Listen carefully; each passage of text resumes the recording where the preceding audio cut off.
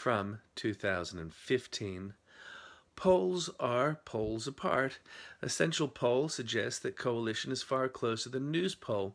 Bastard boss Shorten is popular to a large minority who like union corruption. Why is Shorten running a protection racket for corrupt unions?